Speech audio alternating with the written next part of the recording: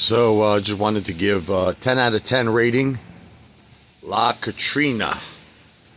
This is uh, Forked River, New Jersey.